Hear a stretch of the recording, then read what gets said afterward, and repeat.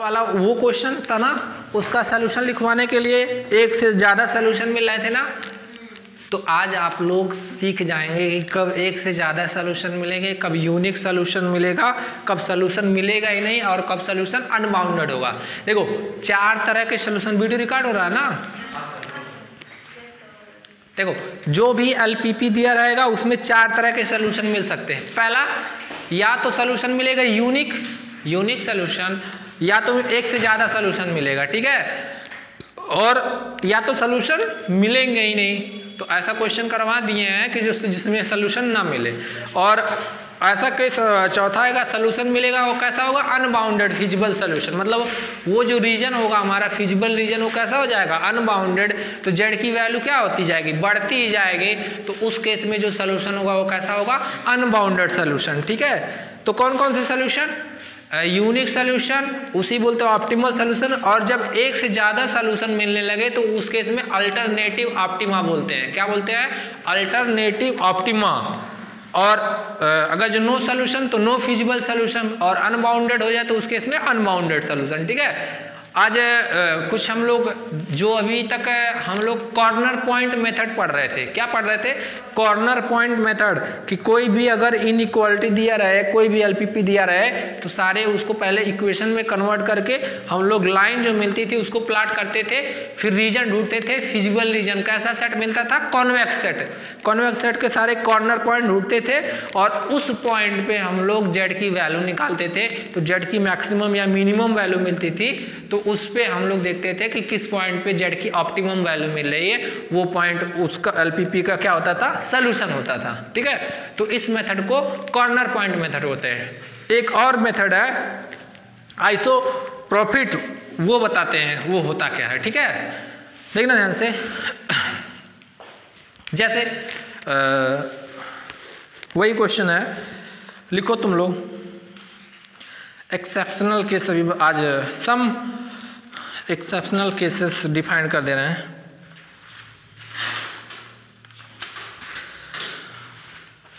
Isoprofit और आइसोकास्ट method देखना ध्यान से ये होता क्या है आइसोप्रोफिट और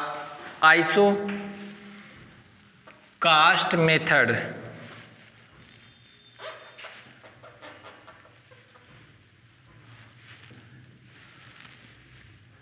देखना थ्योरी बहुत बड़ा है थ्योरी से हम लोग को नहीं मतलब हम लोग डायरेक्ट क्वेश्चन करेंगे इस पर ठीक है क्वेश्चन समझ में आएगा थ्योरी लिखने का कोई ज़रूरत नहीं है क्वेश्चन इसका बहुत ही आसानी से हो जाएगा आ, सबसे पहले देखो ध्यान से आ, एक क्वेश्चन लिख रहे हैं solve the linear programming problem देखना ध्यान से solve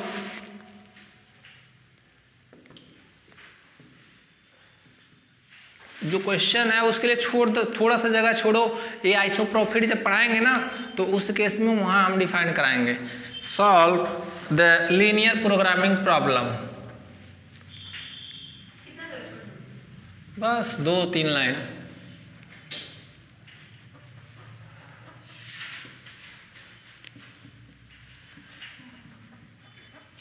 solve the linear programming problem ठीक है और प्रॉब्लम प्रॉब्लम क्या दिया है देखना ध्यान से मैक्सिमम ऐसे Z equal to six X one plus eleven X two two X one plus X two one zero four X one X one plus two X two less equal to 76 x1 greater than 0 x2 greater than zero ठीक है ये question आप लोग किए हैं corner point method से same question किए हैं किससे कॉर्नर पॉइंट मेथड से आज हम लोग आइसो प्रॉफिट या आइसो कॉस्ट मेथड देखेंगे ठीक है देखो होता क्या है इन जनरल पहले बता दे रहे हैं जब भी इस मेथड से इस ये मेथड और वो दोनों मेथड में देखना तुम लोग में जो भी सही रहेगा अगर जो ऐसा दिया रहेगा solve the linear programming problem तो आप चाहे कॉर्नर पॉइंट मेथड लगाएंगे चाहे ये आइसो प्रॉफिट मेथड जो बताने वाले हैं और ऐसे दिया रहेगा solve the L P P by graphical method तब भी आप कोई भी लगा सकते हैं ग्राफिकली तो दोनों देखा जाएगा लेकिन उसमें आप फ्री हैं या तो corner point method corner point ढूंढिए या तो आइसो प्रॉफिट मेथड ठीक है बहुत आसान है दोनों ईजी हैं तो इस मेथड में सबसे पहले सेम स्टेप हम लोग लिखेंगे जैसे पिछले वाले लिखते थे उसमें कॉर्नर पॉइंट ढूंढते थे इसमें कॉर्नर पॉइंट नहीं ढूंढना है इसमें क्या करना है सबसे पहले देखो सोल्यूशन सबसे पहले जो देखना ध्यान से हम लोग पहले क्या करेंगे पहले स्टेप में सारे इनइक्वालिटी है उसको चेंज करेंगे किसमें एज ए इक्वेशन में और सेकंड स्टेप में क्या करेंगे लाइन प्लॉट कर लेंगे प्लॉट कर लेंगे कोई दिक्कत थर्ड स्टेप में देखना फर्स्ट स्टेप में on changing all equality as in a equation तो क्या मिलेगा जी two X one plus X two equal to one zero four equation first और ये क्या होगा X one plus two X two equal to seventy six ये दो equation मिले कोई दिक्कत अब देखना ध्यान से इनका लाइन प्लाट करना है सेकंड स्टेप में सेकंड स्टेप में हमको हम लोग क्या करेंगे एक लाइन प्लाट करेंगे ठीक है लाइन प्लाट करेंगे तो आप लोग देखे थे लाइन प्लाट किए थे तो क्या मिला था इसको ऐसे देखना ध्यान से इसको इंटरसेप्ट फॉर्म में बनाना तो ये क्या होगा पहला ला x one upon fifty two plus x two upon one zero four equal to one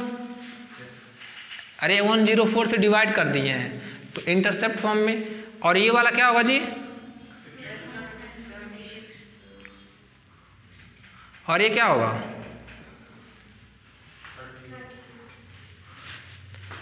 तो ये कहाँ कट करेगा x1 को 50 टी 52 पे और ये कहाँ 104 पे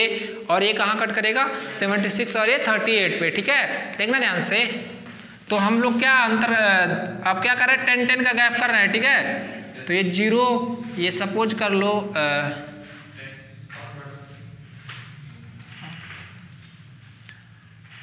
एक्चुअली ये फिगर बने गए नहीं इसमें मिटाना पड़ेगा तुम लोग इतना लिखो आइसो प्रॉफिट वाले मेथड से ही करने जा रहे हैं ठीक है उसमें बस होता क्या वो चीज़ बता रहे हैं इसको मिटा दें लिख लो लिख लो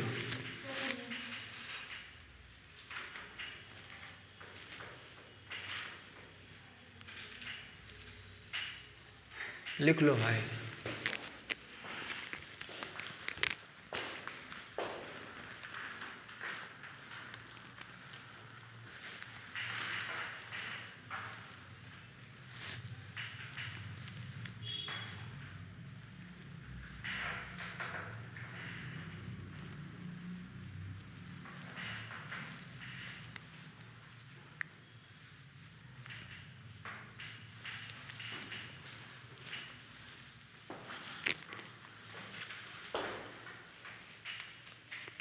मिटाए जी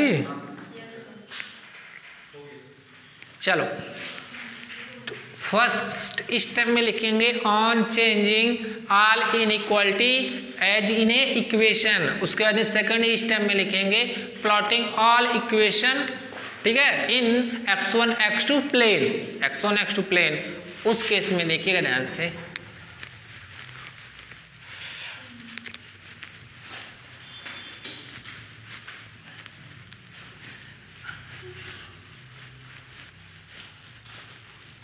देखना ध्यान से अगर ये दोनों लाइन एक दूसरे के पैरेलल हैं मिल नहीं रही हैं तो इस केस में देखना ध्यान से पढ़े हो क्या होगा नो सोल्यूशन कोई सोल्यूशन मिलेगा जैसे पढ़े थे और ये दोनों क्या होगा इंटरसेक्ट कर जाएगा तो जिस पॉइंट पे इंटरसेक्ट करेगा उस केस में क्या मिलेगा यूनिक सोल्यूशन इंटरसेक्ट कर जाए और कोई एक लाइन है इसी पे दूसरा लाइन लाई कर दे तो उस केस में क्या होगा इनफाइनाइट सोल्यूशन अरे भाई देखो हर एक पॉइंट पे इंटरसेक्ट कर रहे हैं ना मतलब अगर देखा जाए पूरा जैसे एक लाइन है और दूसरा लाइन का इक्वेशन इस पे इसी पे लाई कर जाए पूरा तो इस केस में कैसा सोल्यूशन होगा इनफाइनाइट पड़े हो ना इंटर में ये जब एक दूसरे के पैरल हो और ये क्या हो रहा कौन साइड कर रहा मतलब दोनों एक ही पे कौन साइड कर जा रहा लाइन कॉन्साइड जब कर जाएगा तो उस केस में इनफाइनाइट पैरेलल रहे तो उस केस में नो और इंटरसेक्ट करेगा तो यूनिक सोल्यूशन सेम कॉन्सेप्ट है ये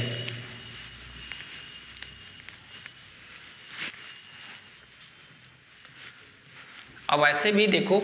दो लाइन का इक्वेशन निकालना है एक लाइन ये है L1 और एक लाइन L2 है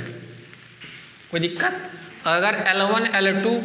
एक पॉइंट पे कट करेंगे मतलब यही पॉइंट इसको भी सेटिस्फाइड करेगा लाइन को यही पॉइंट इसको भी सेटिस्फाइड करेगा तो इस केस में क्या होगा यूनिक सोल्यूशन ही कोई दिक्कत और अगर जो L1 इसी ये लाई कर गया और L2 भी इसी पे लाई कर गया मतलब हर एक पॉइंट मिल गया क्यों तो L1 का हर एक पॉइंट L2 हो जाएगा तो ये पूरा लाइन का पॉइंट एक दूसरे को सेटिस्फाइड करेगा तो इस केस में कितने इनफाइनाइट सोल्यूशन और मान लो L1 है ये L2 ये है इस केस में आपको पॉइंट मिलेंगे इन दोनों में नहीं ना तो उस केस में क्या हो जाएगा नो सोल्यूशन ठीक है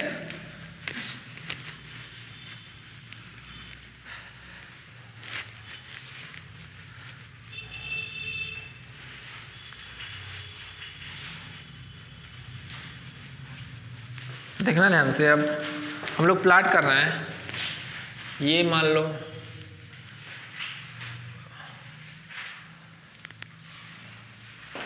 ये जीरो होगा ये मान लो कहीं टेन होगा ये क्या होगा ट्वेंटी और ये क्या होगा जी थर्टी फोर्टी फिफ्टी ये क्या होगा एक्स वन और ये क्या होगा एक्स टू ये क्या होगा टेन इसको ट्वेंटी रख कर दे क्या ट्वेंटी ट्वेंटी कर देना लो ट्वेंटी चलो टेन ही कर दे रहे हैं लो ten twenty thirty forty fifty sixty थोड़ा और इसको बढ़ा दिया जाए वन जीरो फोर भी आ रहा है क्या वन जीरो फोर भी आ रहा है तब बीस कर दे रहे हैं भाई ट्वेंटी फोर्टी सिक्सटी एट्टी और ये क्या होगा हंड्रेड और ये क्या होगा वन हंड्रेड ट्वेंटी ठीक है one hundred twenty seventy six आ रहा है नहीं सही है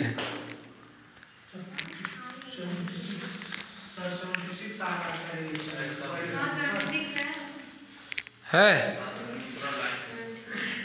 तो लोग कुछ कम कर दे रहे हैं इसको थोड़ा सा ऐसे गैपिंग इधर देखो लो बराबर कर दे रहे हैं दोनों दोनों twenty twenty twenty forty sixty eighty sixty one hundred होगा देखो पहला वाला लाइन जो होगा वो क्या होगा जी तुम लोग देखो पहला वाला लाइन क्या आ रहा है x one upon fifty two plus x two upon one zero four equal to one तो ये क्या हो रहा है फिफ्टी टू पे कट करेगा फिफ्टी टू कहाँ होगा ये फिफ्टी होगा क्यों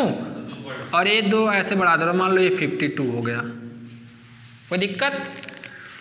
और 104 कहाँ होगा जी यहाँ कहीं होगा ये फाइव होगा ये फोर मान लो यहाँ मिला लो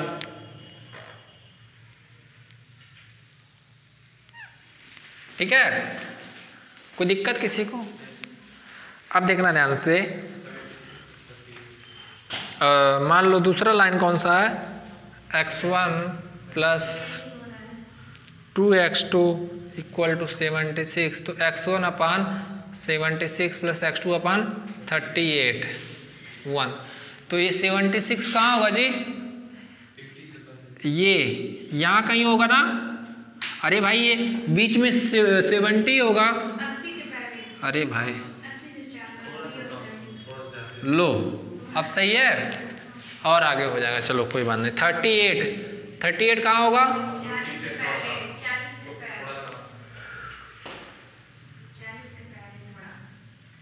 ये मान लो ठीक है यही मिलेगा ना हाँ सही है चलो ठीक है अब देखना ध्यान से इन दोनों में जो आप लोग का इनक्वालिटी था इनक्वालिटी था क्या था x one plus two x two था क्या जी लेस था जीरो जीरो देखो जीरो जीरो रखोगे तो सेटिस्फाइड करेगा ना तो क्या मिलेगा ओरिजिन की ओर सोल्यूशन कोई दिक्कत तो ये दोनों ओरिजिन की ओर सोल्यूशन देगा देखना ध्यान से तो ए बी और ये ओरिजिन तो कॉमन रीजन क्या होगा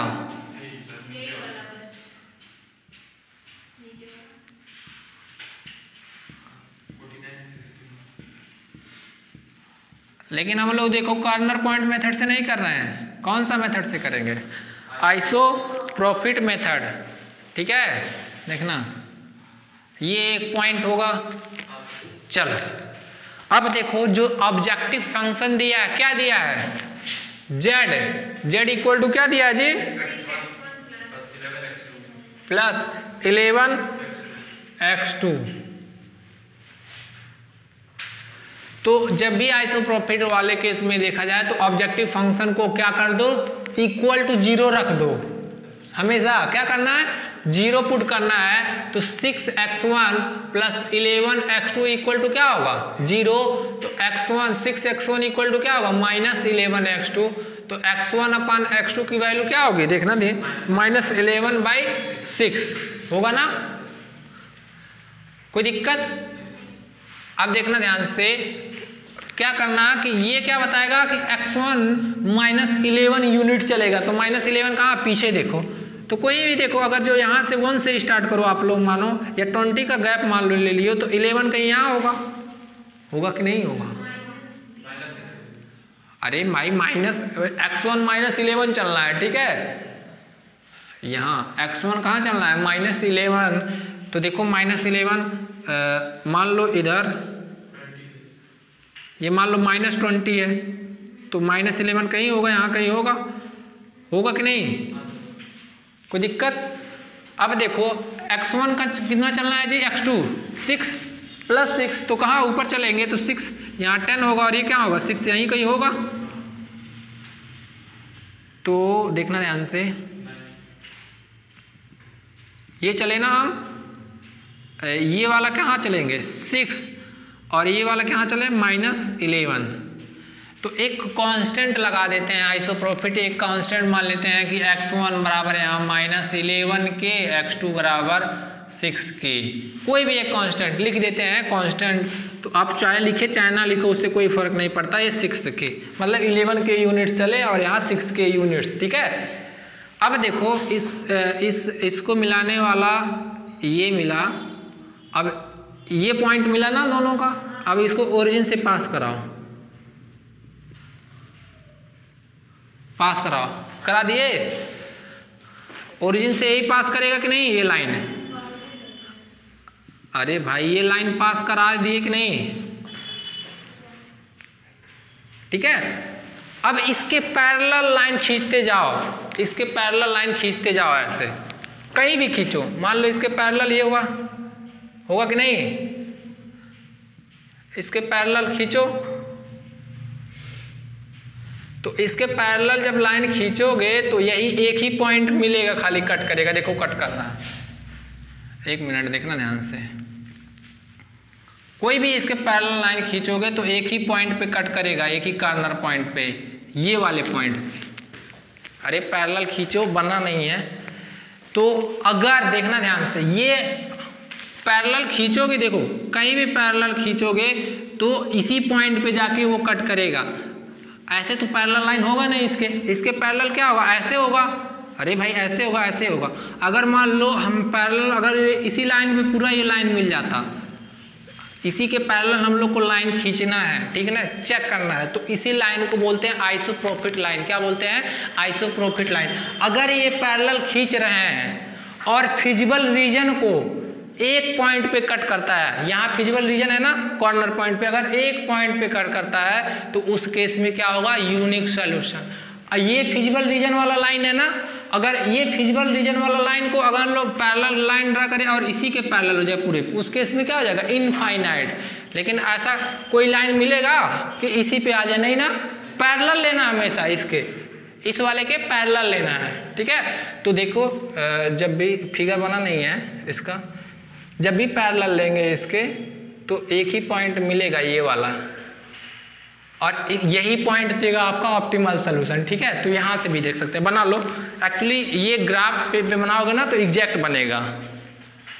ये सारे आइसो प्रॉफिट लाइन है लिखवा देते हैं लिखो इसको पहले ये बना लो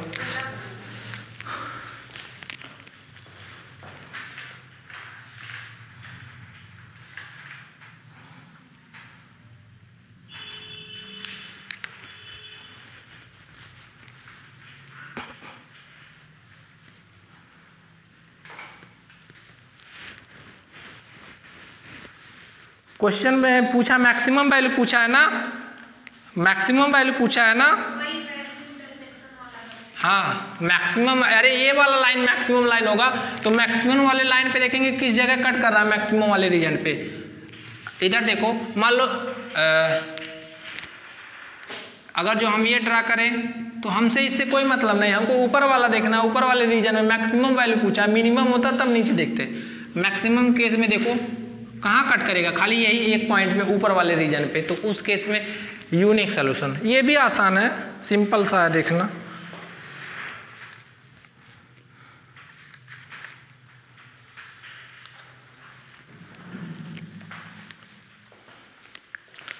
ये बताएगा लाइन ये जो वाला लाइन ये line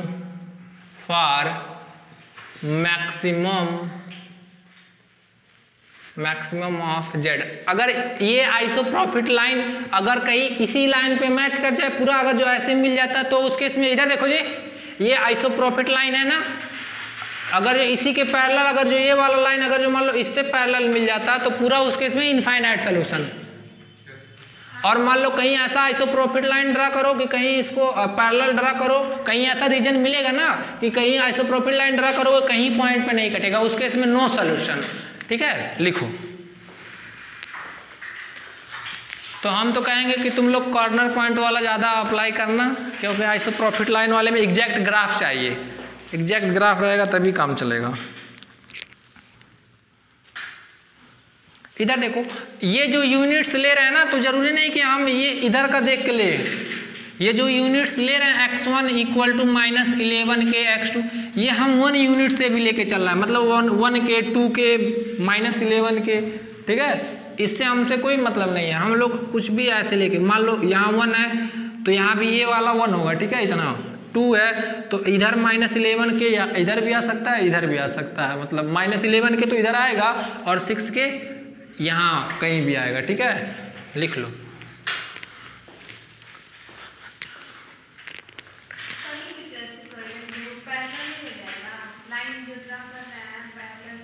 हाँ लाइन पैरेलल ड्रा करते चलो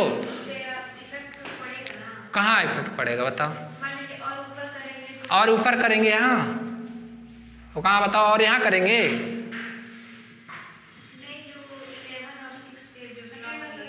ये वाला नहीं ये तो वाला तो एग्जैक्ट होना चाहिए हम ये तो कह रहे हैं ये क्वांटिटी भाई इधर देखो जैसे मान लो माइनस इलेवन के हम यहाँ से ऐसे मानकर चल रहे हैं ये माइनस वन के है ये माइनस टू के है तो माइनस इलेवन के हम ये कह रहे हैं ठीक है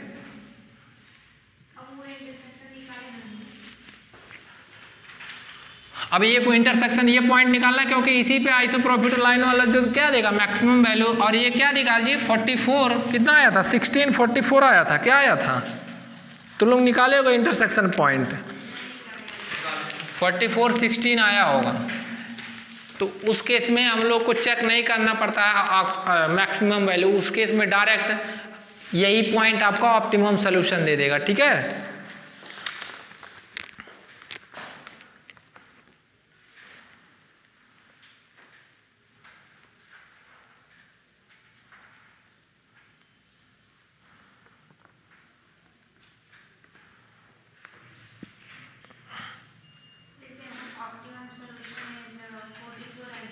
हम्म hmm, बस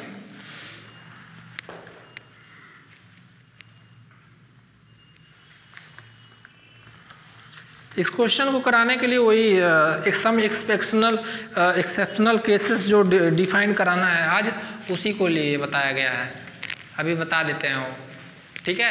अभी इस पे और क्वेश्चन कराएंगे पहले हम लोग आते हैं सम एक्सेप्शनल केसेस पे तीन बचा है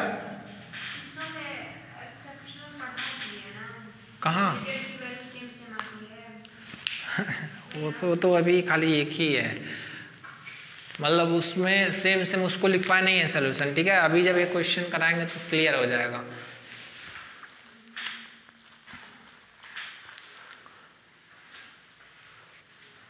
मिटाए जी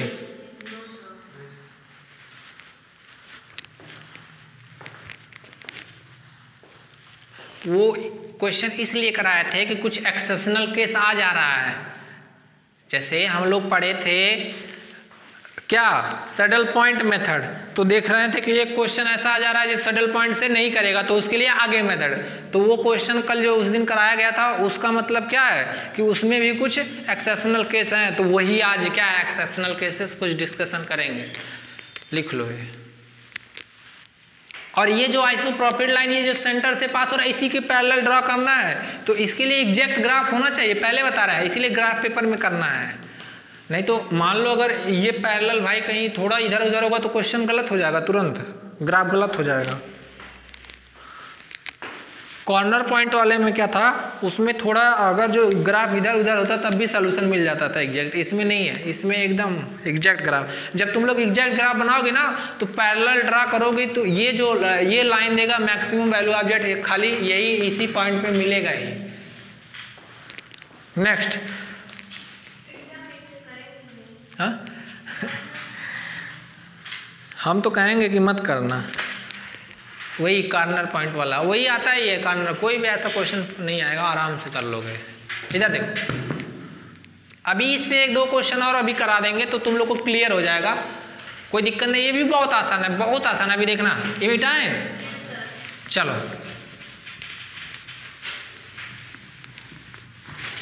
तो अब क्या करेंगे आ, अभी इस पर लिखवा भी देंगे हम डिटेल बस हम थोड़ा सा आइसो प्रॉफिट और आइसो हाँ हाँ हाँ बट इसके अकॉर्डिंग कैसे क्या होता वो हम क्वेश्चन क्यों अच्छा नहीं नहीं नहीं जेड की वैल्यू नहीं निकालेंगे उसमें वो तो डायरेक्ट क्वेश्चन में है मैक्स तो मैक्सिमम वैल्यू देगा ना मैक्सिमम रीजन फिजिबल रीजन में जब कट कर रहा है इधर देखो जो रीजन लिखवाए थे बनाए थे ऊपर यही था ना ऐसे कुछ रीजन तो मैक्सिमम जो रीजन इसे ये बताए थे ना कि ये मैक्सिमम लाइन होगा फॉर जेड के लिए तो किस पॉइंट पे एक पॉइंट पे कट कर रहा था तो वही उस केस में उसका ऑप्टिमल सोल्यूशन देखो कोई दिक्कत ना आइसो प्रॉफिट के पूरा डिस्कशन कराएंगे बस आइसोप्रोपिट होता क्या है ये समझ गए कि एक ऑब्जेक्टिव फंक्शन को जीरो पुट करना है वहाँ से एक्स वन एक्स टू का रेशियो लेना है कुछ क्वांटिटी मिलेगी वो देखना है कि सेंटर से पास कराना और उसके पैरल लाइन खींचना है ठीक है बस इतना बस इतना बताना अभी उससे उससे रिलेटेड सारे क्वेश्चन कराया जाएगा टेंशन ना लो पहले एक question some exceptional cases some exceptional cases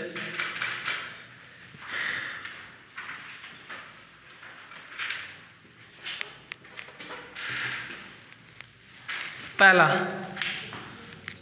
पहला alternative optima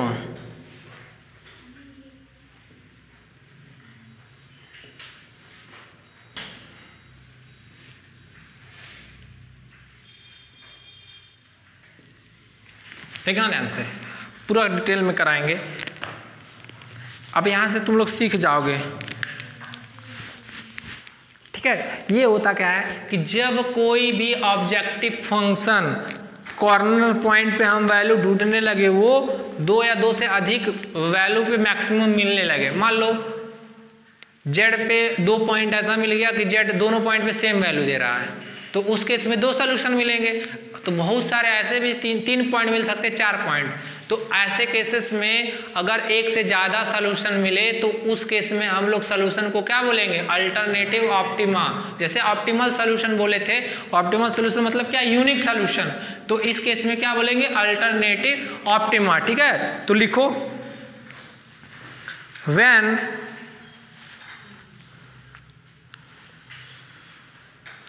when the objective function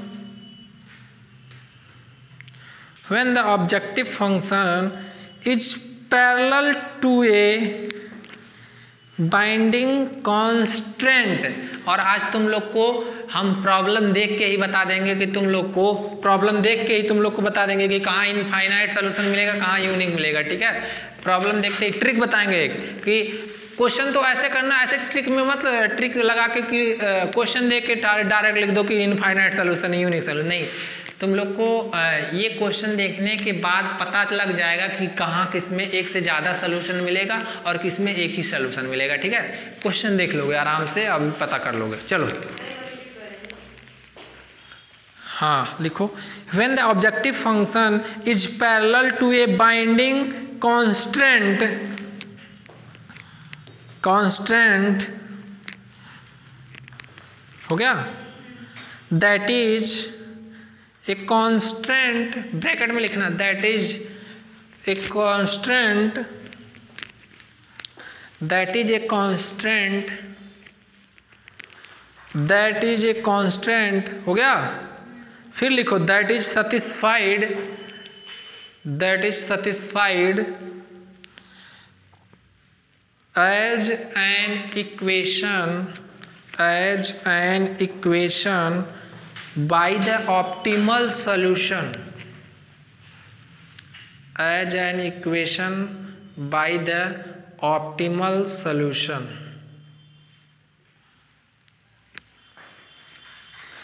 by the optimal solution हो गया फिर कॉम ब्रैकेट बंद कर लेना the objective function will assume the objective function will assume the same optimum value will assume the same optimum value at more than one solution point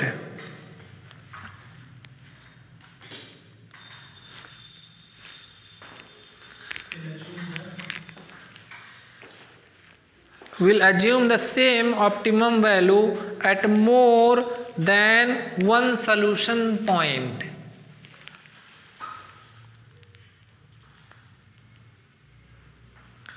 हो गया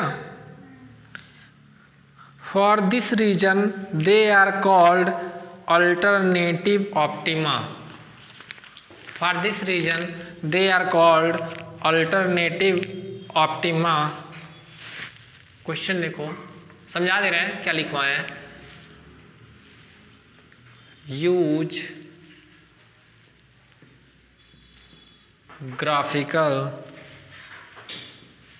method to solve the L P P maximise maximise z equal to two x one plus four x two x one plus two x two x one plus x two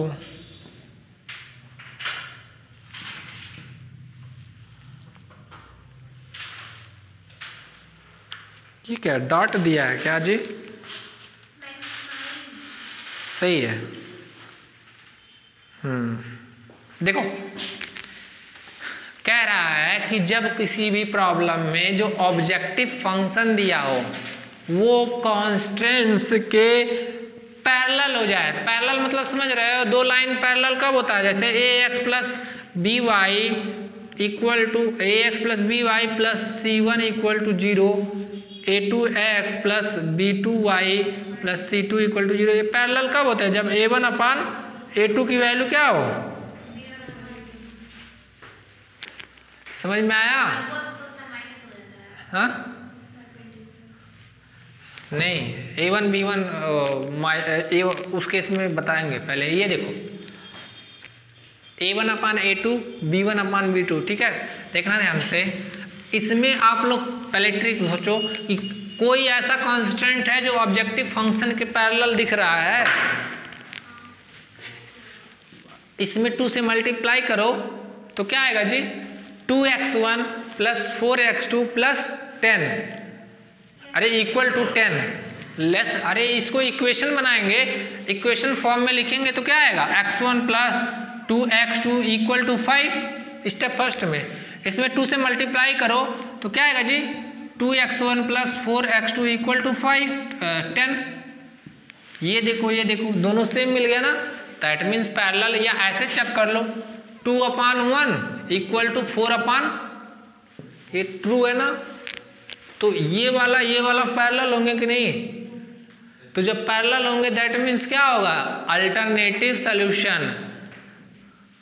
अरे वो parallel नहीं line वाला कि no solution यहाँ हम कह रहे हैं कि जब कोई ऑब्जेक्टिव फंक्शन किसी कांस्टेंट के पैरेलल हो जाए तो उस केस में हम लोग को इनफाइनाइट सोल्यूशन एक से ज़्यादा सोल्यूशन मिलेंगे और कैसे मिलेंगे कितने इनफाइनाइट सोल्यूशन देखना कैसे ये क्वेश्चन करते हैं तो तुम लोग पैरेलल अब चेक कर लोगे ना कहाँ पैरेलल है कहाँ नहीं है ठीक है बस चलो इसको सॉल्व करेंगे तो सबसे पहले step first solution step first में क्या करेंगे on changing all inequality step first on all inequalities in equation we get क्या मिलेगा जी x1 one plus two x two equal to five x one plus x two equal to four equation number first equation number second लिखो फिर step second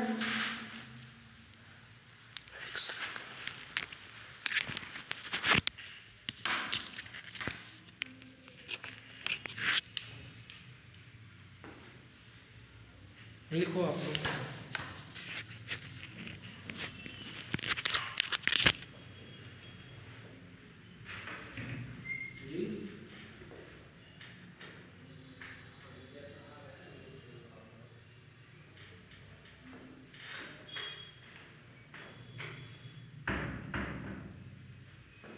चलो देखना ध्यान से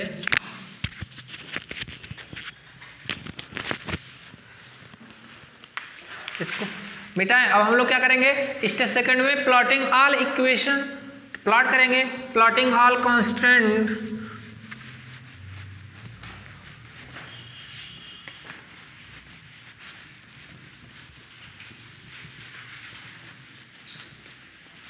तो तुम लोग अपने अकॉर्डिंग ग्राफ प्लाट कर ही सकते हो सब सीख गए हो दो इक्वेशन मिला है कौन कौन सा जी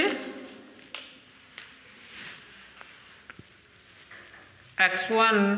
plus two x two equal to five और x one plus x two equal to four देखो इस केस में जब एक्स वन जीरो रखेंगे तो क्या होगा एक्स टू की वैल्यू क्या आएगी फाइव बाई टू तो जीरो और ये क्या होगा या ऐसे इसको बना लो भाई x one by five plus x two five by कोई दिक्कत इक्वल टू वन और ये क्या होगा x one by four plus x two by four equal to one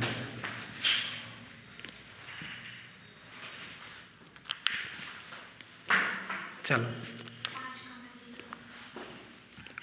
ये मान लो one two three four five one two three four five ठीक है देखना ध्यान से पहला वाला कौन सा पॉइंट मिलेगा फाइव और क्या होगा four point sorry two point देखना तो फाइव ये पॉइंट होगा और टू पॉइंट फाइव यहाँ कहीं होगा कि नहीं मिला लो इन दोनों को ठीक है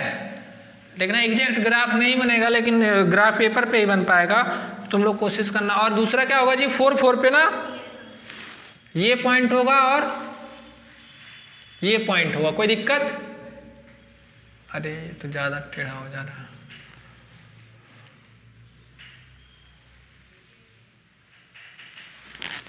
मिल गया कि नहीं हमको अब देखो दोनों दोनों कांस्टेंट क्या होंगे जीरो को सेटिस्फाइड कर रहे हैं तो सोल्यूशन कहाँ देंगे जीरो की ओर ना दैट मीन्स ये भी जो सोल्यूशन होगा इसका जीरो की टू वर्ड्स होगा और इसका होगा कि नहीं तो फिजिबल रीजन क्या होगा इस केस का यही होगा ना अब अब देखना ध्यान से फिजिबल रीजन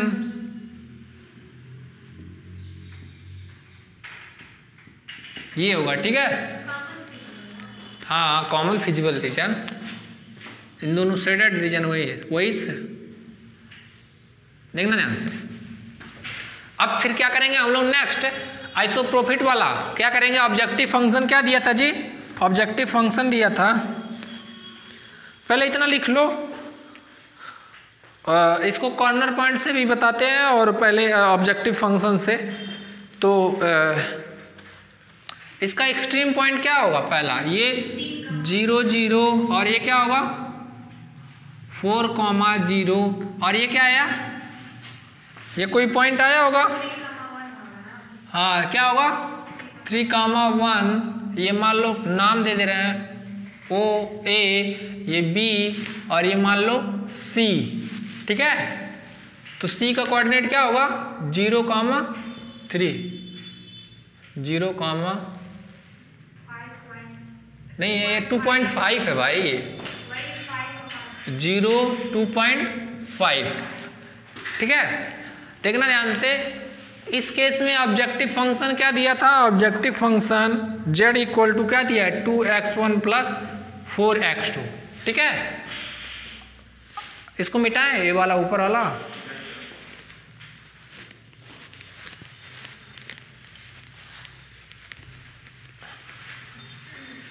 अब हम लोग क्या पढ़ते हैं एक्सट्रीम पॉइंट ढूंढते हैं स्टेप कैसे पहले लिखवा चुके हैं वीडियो लेक्चर में सब लोग स्टेप वही लिखना है कुछ नहीं एक्सट्रीम पॉइंट क्या क्या होंगे zero zero four zero three comma one है ये थ्री कॉमा वन है और क्या है जीरो टू पॉइंट इस पे जेड की वैल्यू चेक करो चलो देखो extreme point E X T R E M E extreme point x one x two और value of z z equal to क्या होगा two x one plus four x two इस पर जो वैल्यू होगी जेड की ये क्या एक्सट्रीम पॉइंट आया ओ ए बी सी ये क्या हो गया जीरो जीरो ये क्या होगा जीरो फोर कॉमा जीरो और ये क्या होगा जी थ्री कॉमा वन और ये क्या होगा जीरो टू पॉइंट फाइव तो वैल्यू क्या आएगी इस पर इस पर जेड की वैल्यू क्या आएगी जीरो आएगी इस पर क्या आएगी एट और इस पर क्या आएगी टेन और इस पर क्या आएगी देखो दो मैक्सिमम पूछा ना जेड मैक्स तो दो पॉइंट मैक्सिमम मिल जा रहा है ना तो दो सोल्यूशन मतलब मिल जाएंगे तब वही अब इसके इसके लिए हम लोग क्या करेंगे अब आइसो प्रॉफिट वाला आप समझ में आए यहां से नहीं यहाँ से आइसो प्रॉफिट नहीं हम डायरेक्ट आइसो प्रॉफिट लगा सकते हैं मतलब एक्सेप्शनल केस आ गया ना यहाँ से भी देख लिए कि दो पॉइंट ऐसा मिल गया कि जिसपे मैक्सिमम वैल्यू आ रही ठीक है तो इस केस में देखा जाएगा जब दो पॉइंट में तो और भी बहुत सारे ऐसे पॉइंट रहेंगे जिसपे टेन आएगा और भी बहुत सारे पॉइंट ऐसे आएंगे जिसपे वैल्यू टेन आएगी तो उस केस में कितने सोल्यूशन हो जाएंगे बहुत सारे सोल्यूशन तो इस केस में ऐसे सोल्यूशन को क्या बोलेंगे अल्टरनेटिव ऑप्टिमा ठीक है ये तो बाई कॉर्नर पॉइंट से देख लिए अब प्रॉफिट वाले से देखो इधर देखो कॉर्नर पॉइंट वाले से समझ में आ गया ना कि दो से तीन सोल्यूशन मिलेंगे तो उस केस में क्या होगा इसके पास अल्टरनेटिव ऑप्टिमा अब देखो आइसोप्रोफिट वाला ऑब्जेक्टिव फंक्शन क्या है जेड इक्वल टू जीरो रखो यहां put put z equal to zero that means क्या होगा जी two x one plus four x two equal to zero तो एक्स वन इक्वल टू क्या होगा minus four upon two x two तो x one equal to क्या होगा minus two x one upon x two ठीक है तो minus two को टू आई वन लिख सकते हैं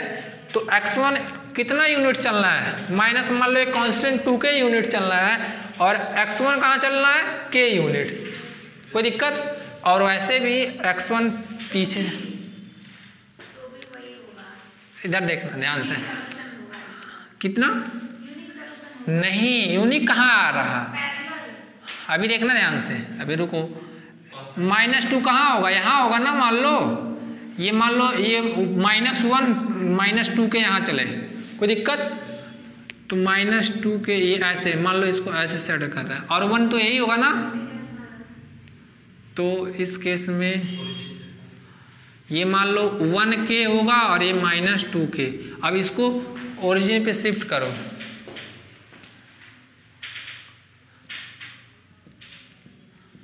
हुआ ठीक है अब इसके पैरेलल खींचते जाओ खींचते जाओ खींचते जाओ पैरेलल तो देखो इसके पैरेलल वाला एक बार यही पूरा लाइन मिल जाएगा कि नहीं पूरा ये जो पैरेलल आइसो प्रॉफिट लाइन इस पर कौन साइड कर रहा है कहाँ बी तक साइड कर रहा है क्यों और यहाँ से यहाँ कितने पॉइंट्स होंगे इनके बीच में इनफाइनाइट पॉइंट तो यही सारे जो पॉइंट होंगे वो आइसो प्रॉफिट लाइन क्या कर रहा है इनको टच कर रहा है ना तो यही सारे पॉइंट क्या देंगे इनफाइनाइट सोल्यूशन तो यहाँ से यहाँ तक का जो भी टच करे या कट करे जो भी कॉन्साइड कर जा रहा है तो यहाँ से यहाँ वाले सारे क्या दे देंगे इनफाइनाइट सोल्यूशन देंगे कि नहीं तो इस केस में देख भी सकते हैं कि एक से ज़्यादा सोल्यूशन मिल रहा है ठीक है तो वही चीज़ लिखना है लिखो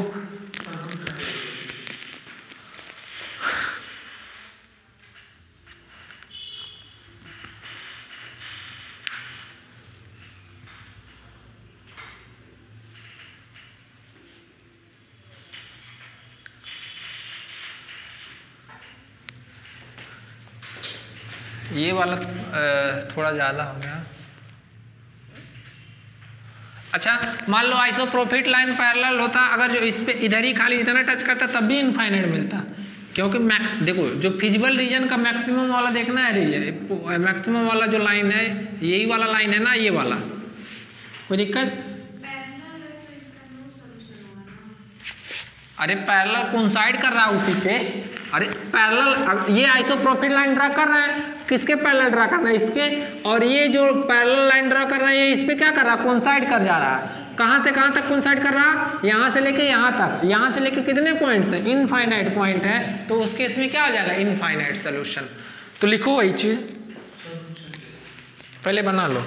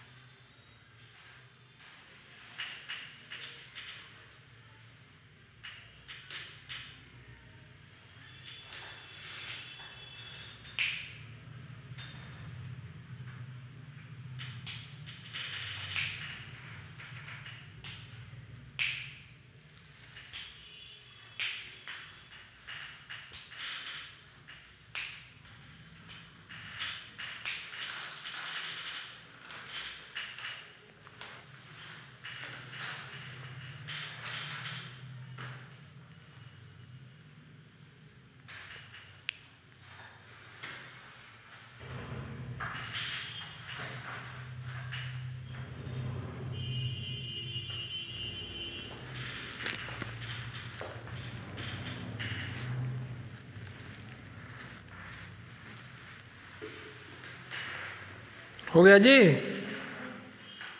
लिखो अब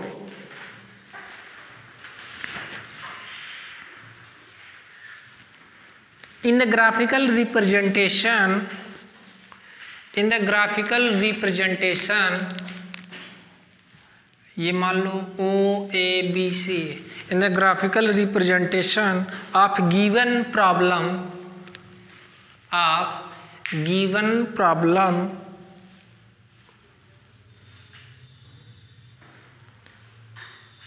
the region which is common in all region the regions the region which is common in all regions the region which is common in all region in all region that is क्या हुआ feasible region जो सभी region में से जो common region होगा उसी को क्या बोलेंगे फिजिबल रीजन फिजिबल रीजन और इस केस में फिजिबल रीजन क्या होगा जी feasible region is O A B C यही होगा ना ओ ए बी सी अरे ये ओ है ये ए है और ये क्या है बी है और ये सी है अच्छा ऐसे लिख दे रहे हैं सी सी ये सी है और ये पॉइंट मान लो बी का कोऑर्डिनेट थ्री कामा वन ठीक है ओ ए बी सी कोई दिक्कत this feasible region is dotted इसको डॉट कर दें ठीक है हो गया this feasible region is dotted this feasible region is dotted या सेडेड जो भी सेडेड लिख दीजिएगा now to find the optimum value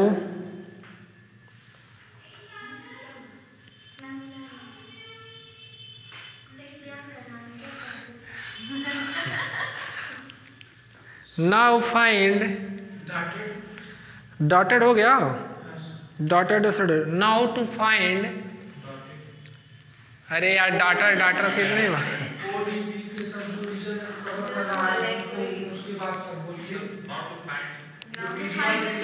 हाँ नाउ टू फाइंड उसके बाद में पहले ये बताओ ये आईसो प्रॉफिट वाला समझ में आ रहा है ना कोई दिक्कत कि पहले ये चेक करेंगे इधर से ओरिजिन की ओर ले जाएंगे और उसके पैरेलल चेक करेंगे ठीक है तो मैक्सिमम वाले रीजन के जो टच करेगा अगर मान लो हम लोग ऐसे करते जाते कहीं ना कहीं ये डिपेंड कर रहा है ये ये हमारा काम मिला मान लो ये अगर जो ऐसा मिल जाता तो ये वाला लाइन अगर जो मान लो ऐसा मिल जाता तो ऐसे लाइन खींचते तो उसके इसमें यूनिक सोल्यूशन मिल जाता है नहीं मिल जाता हाँ कहीं ना कहीं एक पॉइंट पे काटता अगर काटता तो एक पॉइंट पे काटता तो यूनिक सोल्यूशन और अगर नहीं काटता तो और ऊपर वाले रीजन पे यही तो मैक्सिमम ये वाले रीजन पे काटना चाहिए ठीक है अंदर काटे कुछ नहीं फर्क पड़ता खाली ऊपर वाले वाले पे ऊपर वाले इसका मतलब ऊपर वाला जो मैक्सिमम लाइन होगा मैक्सिमम ये वाला मैक्सिमम लाइन यही तो होगा मैक्सिमम वाला रीजन देखो ये वाला ये वाला अरे ठीक है यही वाला इसी को अगर जो काटता एक पॉइंट पे तो क्या होता है यूनिक सोल्यूशन और इनफाइनाइट पे टच करेगा तो इनफाइनाइट सोल्यूशन चलो now to find the optimum point now to find the optimum point of feasible region of feasible region O A B C O A B C we draw the isopropit line कौन सा profit line होगा यही ना यही वाला अरे ये वाला प्रॉफिट लाइन होगा और इसके पैरल हम लोग ड्रा किए हैं ठीक है वी आइसोप्रोफिट लाइन ड्रा करने के लिए क्या करेंगे कंडीशन ऑब्जेक्टिव फंक्शन को जीरो करेंगे तो लिखो we draw isoprofit line and move parallel to itself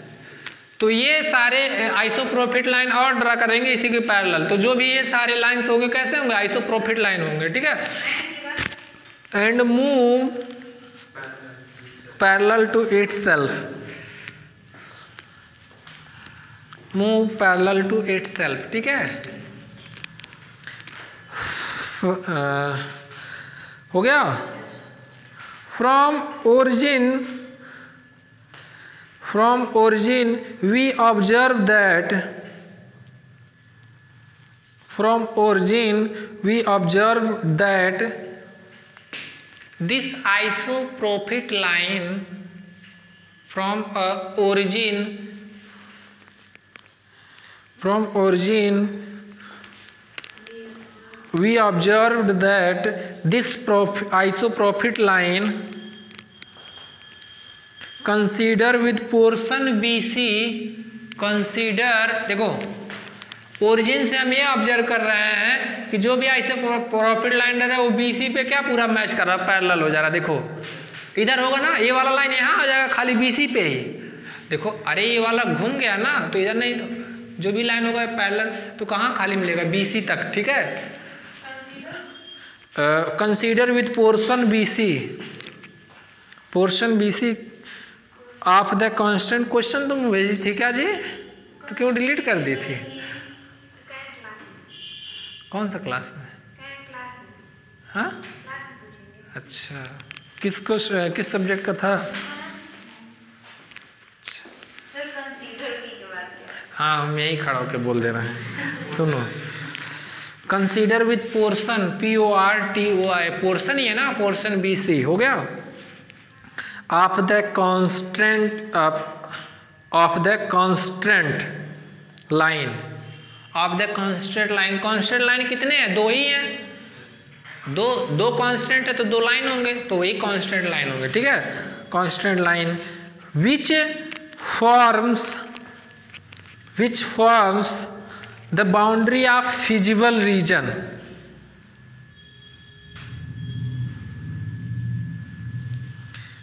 which forms the boundary of feasible region the boundary of feasible region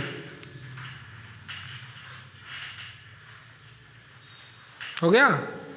then any point of portion B C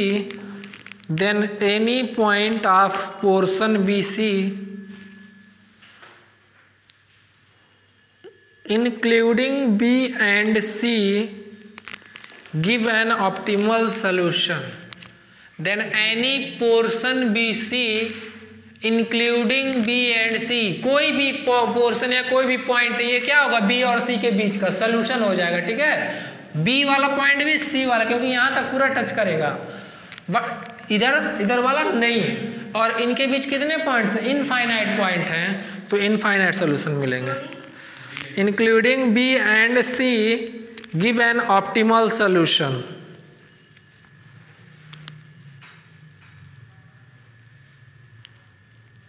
Therefore, infinite number of solution is obtained.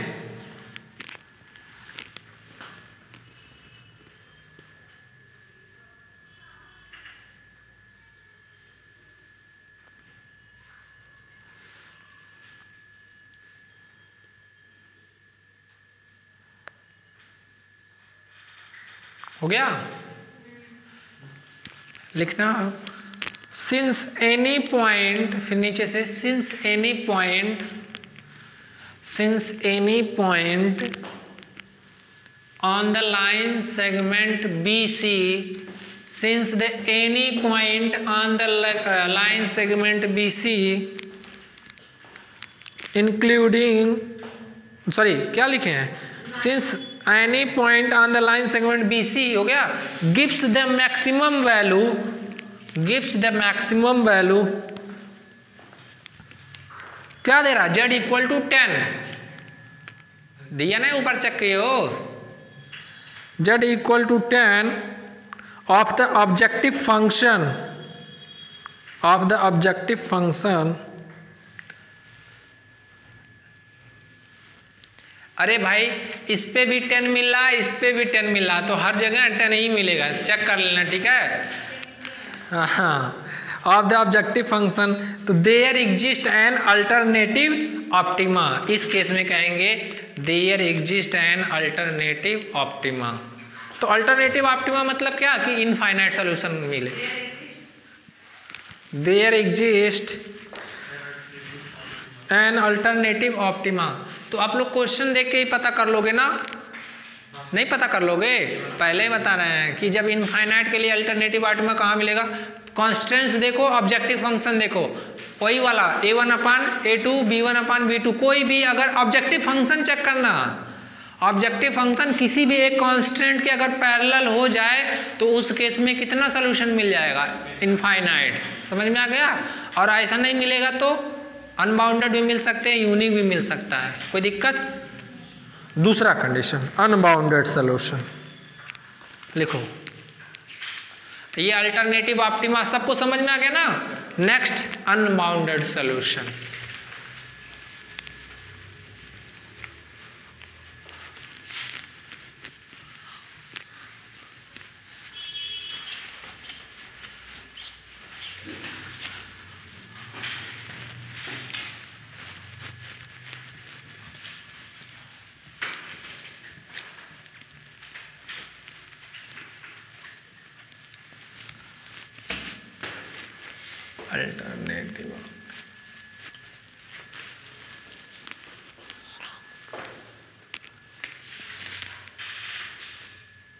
कुछ लिखवाए थे क्या unbounded solution पहले ही बता दिए थे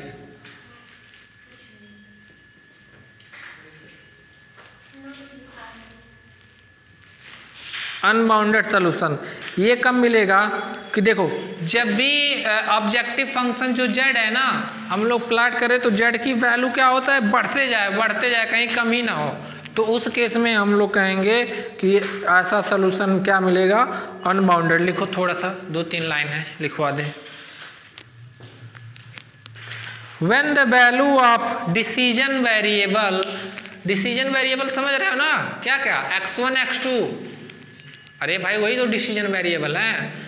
when the value of the decision variable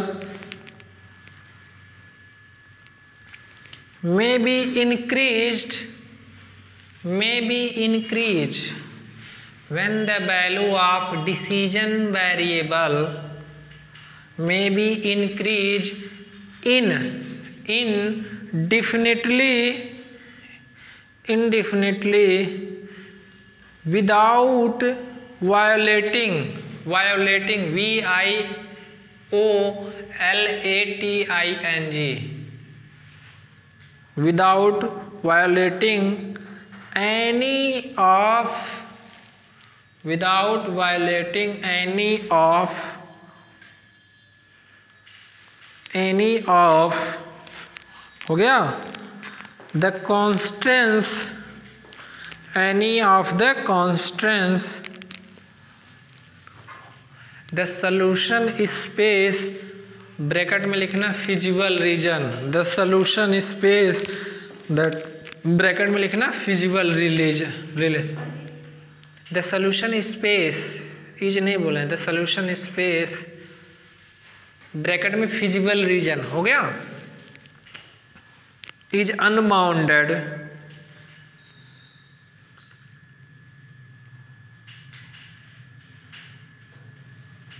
हो गया फिर लिखा the value of objective function in such case the value of objective function in such case the value of objective function in such case may increase may increase किसके लिए increase करेगा for maximisation क्यों may increase for maximization bracket में लिखना and और sorry और लिखना maximization फिर और डिक्रीज और डिक्रीज और decrease for minimization for minimization indefinitely देखो जब भी डिसीजन वेरिएबल की वैल्यू बढ़ते जाए दैट मीन्स एक्स की वैल्यू बढ़े एक्स वन की वैल्यू बढ़े एक्स टू की वैल्यू बढ़े तो उस केस में क्या होगा फिजिबल रीजन भी बड़ा होगा फिजिबल रीजन क्या हो जाएगा अनबाउंडेड हो जाएगा तो जब फिजिबल रीजन अनबाउंडेड हो जाएगा तो पॉइंट भी क्या होंगे बहुत बड़े बड़े तो जेड की भी वैल्यू क्या होगी बड़े अरे भाई इधर देखो अब मान लो इधर हम लोग एक्स की वैल्यू बढ़ाएंगे ये सॉरी एक्स टू की वैल्यू और एक्स वन की वैल्यू तो बड़ा तो रीजन भी बड़ा मिलेगा और पॉइंट भी तो मैक्सिमम के देखा जाए तो मैक्सिमम के लिए क्या होगा जेड की वैल्यू ज़्यादा बढ़ती जाएगी तो उस केस में ऑब्जेक्टिव फंक्शन क्या होगा बहुत ज़्यादा बड़ा हो जाएगा तो इसीलिए ऑब्जेक्टिव फंक्शन अनबाउंडेड हो जाता है लिखो लिखो कहाँ तक लिखे आप लोग इनडिफिनेटली फिर thus both the solution space both the solution space and the objective function thus both the solution space and objective function thus both the solution space and the objective function value are unbounded objective function value are unbounded question देखो अभी इस पर question कराएंगे तभी समझ में आएगा तुम लोग को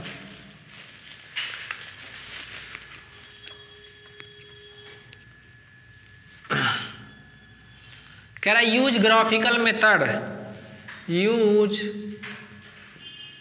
graphical method आज के लेक्चर के बाद एक लेक्चर और लगेगा एलपीपी में ख़त्म उसके बाद ठीक है एलपीपी इसलिए अच्छे से पढ़ा दे रहे हैं सारा क्वेश्चन करा दे रहे हैं और ताकि तुम लोग को छूटे ना कोई भी क्वेश्चन ठीक है use graphical method to solve to solve the following LPP, the following LPP maximize देखना maximize ये क्या दिया है z equal to six one plus X two ठीक है और कॉन्स्टेंट्स दिया है subjected to constant such that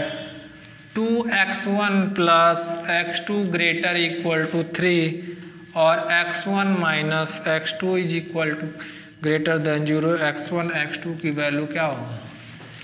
एक ऑब्जेक्टिव फंक्शन दिया है दो नॉन नेगेटिव दो कॉन्स्टेंट और नॉन नेगेटिव रिस्ट्रिक्शन ठीक है डिसीजन वेरिएबल क्या होंगे एक्स वन एक्स टू सबसे पहले कुछ करना नहीं है सोल्यूशन देखो ध्यान से कुछ करना नहीं है इसमें स्टेप फर्स्ट या ऐसे हम लोग डायरेक्ट ड्रा कर रहे हैं इसका ग्राफ ठीक है ऑन चेंजिंग ऐसे लिखेंगे on changing all inequalities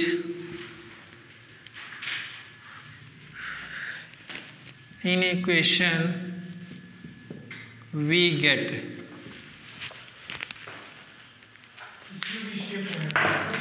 क्या हुआ सब में वही रहेगा बाबू देखना ध्यान से क्या होगा जी two X one plus X two equal to three X one minus X two equal to zero यही होगा ना तो ग्राफ सिंपल सा बना रहे हैं छोटा सा यहीं पे देखना ध्यान से इस केस में क्या होगा X one minus X two देखना ध्यान से निगेटिव निगेटिव वाले में भी शिफ्ट होगा क्या एक second X one minus X two है ना हाँ X one minus X two equal to zero that means क्या होगा जी एक्स वन बराबर एक्स टू ये क्या होगा वाई बराबर एक्स लाइन अरे भाई X one minus X two equal to zero क्या होगा वाई बराबर एक्स लाइन ना तो वाई बराबर एक्स लाइन क्या होगा कोई दिक्कत यही तो होगा तो ये कौन सा लाइन होगा X one minus X two बराबर जीरो ठीक है और दूसरा लाइन क्या होगा टू एक्स वन प्लस ये क्या होगा देखना एक्स वन ये क्या होगा जी three by two plus X two पे थ्री ये वाला कहाँ कट करेगा मान लो ये one two three one two three four तो कहाँ कट करेगा जी वन पॉइंट यहाँ पे ना एक मिनट एक मिनट यहाँ यहाँ हाँ और ये कहाँ कटेगा थ्री पे ये वाला होगा कि नहीं देखना इसमें जीरो रखो जीरो को सेटिस्फाइड करेगा नहीं ना तो जी ओरिजिन को कंटेन करेगा ना ओरिजिन को नहीं करेगा ओरिजिन के ऊपर सोल्यूशन ये वाला लाइन तो सोल्यूशन कहाँ मिलेगा ऊपर ओरिजिन को कंटेन नहीं करेगा कोई दिक्कत और इसमें ओरिजिन रखोगे तब भी नहीं सेटिस्फाइड करेगा अरे भाई सेटिस्फाइड कर रहा है ग्रेटर देन जीरो पहले ही बताए थे जब A X plus B Y greater than zero तो सोल्यूशन अपवर्ड मिलेगा वहां से देख सकते हैं तो इसका भी सोल्यूशन कहाँ मिलेगा अपवर्ड तो जो इन दोनों का फिजिबल रीजन क्या होगा जी यही होगा ना पूरा अरे यही तो होगा क्यों बना लो ग्राम और तुम लोग ऐसे बनाना इसको थोड़ा एक मिनट इसी में लिखे थे क्या जी थोड़ा और ऊपर इसको बना लो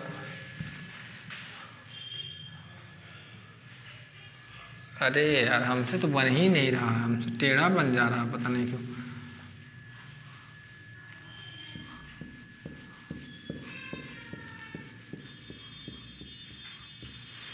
बना लो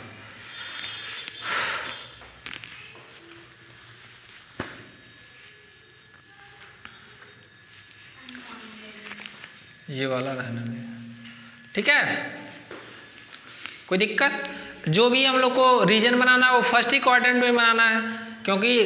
नॉन निगेटिव रिस्ट्रिक्शन भी तो देखना है ये क्या बताएगा पॉजिटिव एक्स एक्सिस और पॉजिटिव वाई एक्सिस ये एक्स वन होगा और ये एक्स टू होगा ठीक है तो लिखो अब इसके हाँ सोल्यूशन दो तीन लाइन का लिखवा दें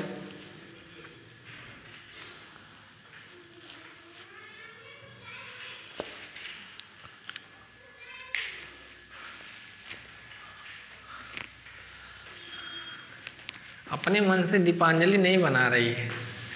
खाली देख देख के छाप रही तुम पढ़ पढ़ रही हो घर पे तुमको कैसे पता अच्छा तुम हाँ किसको अच्छे जानता है दीपांजलि दीपांजलि को अच्छी बात है तुम लोग तुम लोग एक दूसरे के लिए मतलब अच्छे नहीं जानोगे तो तुम लोग फायदे पढ़ने क्या मतलब एक दूसरे को अच्छे से देखो भाई क्या हो रहा है हमको भूकंप भूकंप तो नहीं आ रहा है तुम लोग की गलती है तुम लोग भी ज़्यादा पढ़ो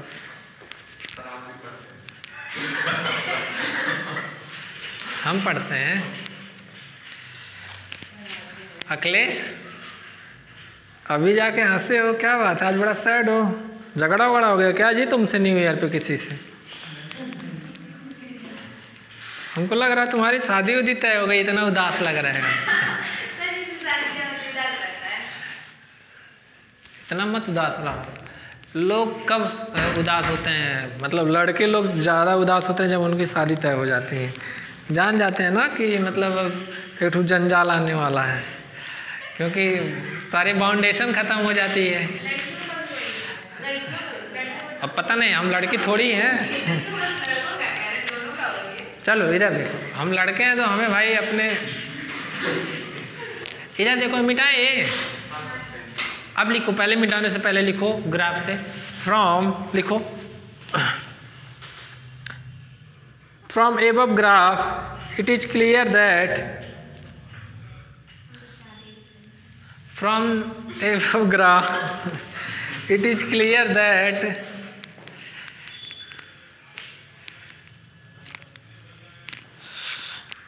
from above graph it is clear that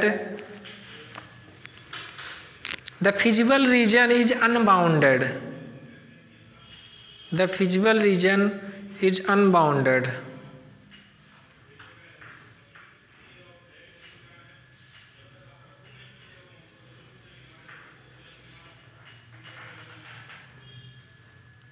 draw iso profit line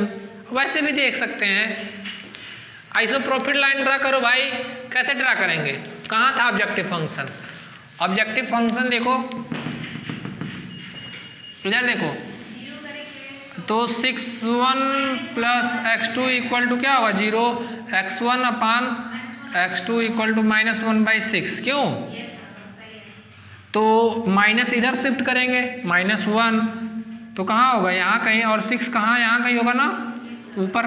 जो भी मान लो सिक्स कहीं क्वांटिटी अगर ये माइनस वन है तो सिक्स यहाँ कहीं मान ले तो उस केस में देखना ध्यान से आ, जो भी होगा मान लो फोर फाइव सिक्स और ये तो ऐसे कुछ बनेगा ना पैरल अगर जो मान लो एक क्वांटिटी सिक्स ले ले रहे हैं यहाँ one two three four five six यहाँ ले ले रहे हैं सिक्स के क्वांटिटी और ये मान लो माइनस वन ये मान लो सिक्स के है और ये सॉरी और ये क्या होगा माइनस के ये होगा ना आइसोप्रोफिट प्रॉफिट लाइन अब इसके पैरेलल खींचो पैरेलल खींचोगे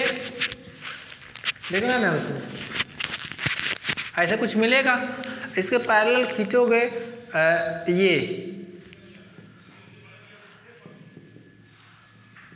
तो जो भी मैक्सिमम वाला देखो कोई भी पैरल लाइन ड्रा करोगे ये तो रीजन खुद अनबाउंडेड है अनबाउंडेड है तो हर एक पॉइंट मतलब जब भी लाइन ड्रा करोगे आइसो कोई भी आइसो प्रॉफिट लाइन तो हमेशा एक पॉइंट तो मिलेगा ही कट करेगा ना तो अगर एक आइसो प्रॉफिट लाइन ड्रा करेंगे पैरेलल तो एक सोल्यूशन एक सोल्यूशन ऐसे कितने सोल्यूशन मिल जाएंगे अनबाउंडेड सोल्यूशन नहीं हो जाएंगे अरे भाई देखो कट करो और वैसे यहाँ फिजिकल रीजन से ही देखते हैं जब फिजिकल रीजन अनबाउंडेड होगा इस केस में लिख सकते हैं कि जेड की वैल्यू क्या होगी मैक्स मतलब बढ़ती ही चली जा रही है वैसे भी लिख सकते हैं अनबाउंडेड सोल्यूशन समझ में आया कि नहीं लिखो हाँ अनबाउंडेड सोल्यूशन मिलेगा मतलब बाउंडेड नहीं ठीक है लिखो वही चीज़ बता रहा है draw isoprophet line and move parallel to itself draw isoprophet line and move parallel to itself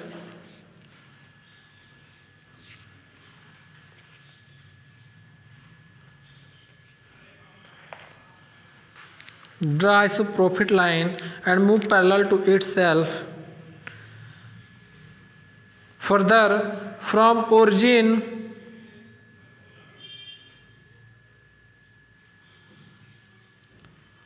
further from origin we observe that we observe that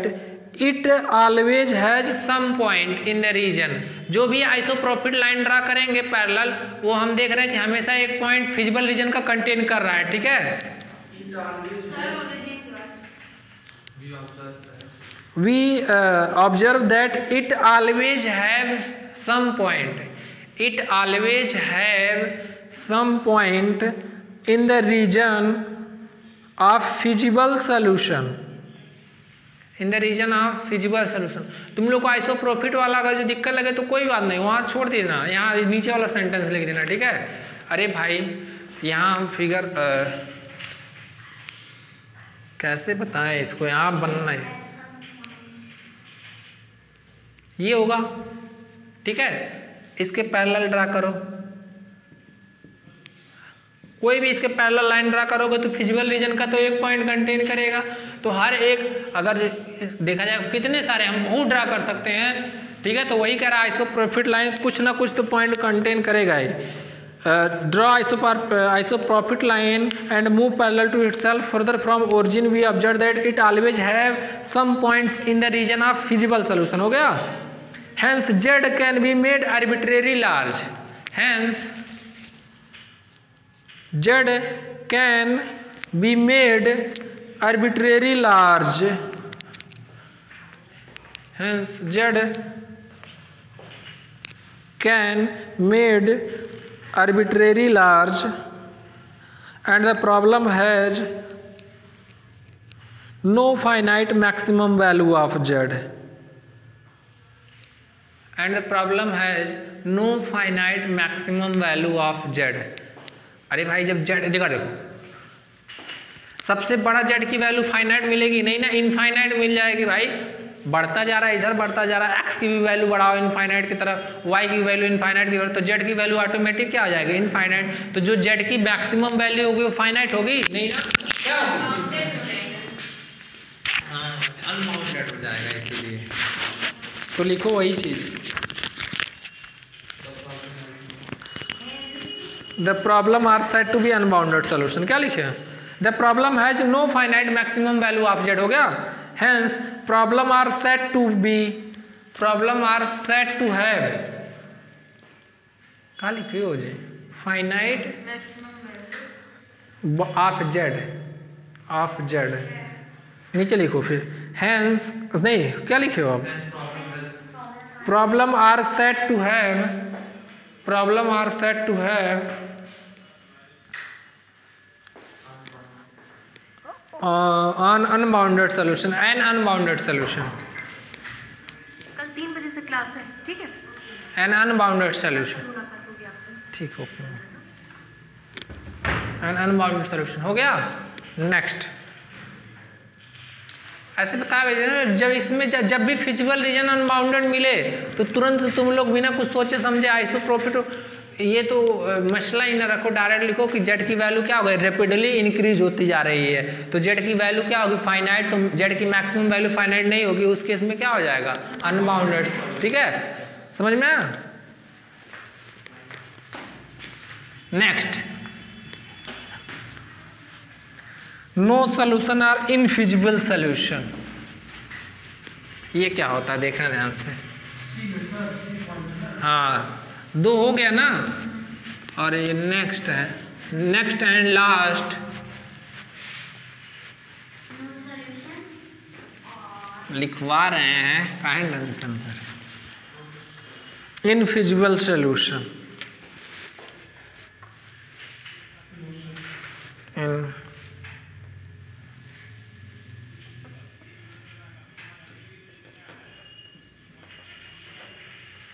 पहले बता रहे हैं तुम लोग को ऐसा एल मिलेगा कि एकदम हलवा से कर लोगे अच्छा एकदम अच्छे से डायरेक्ट क्या करोगे ग्राफ ड्राफ करोगे हाँ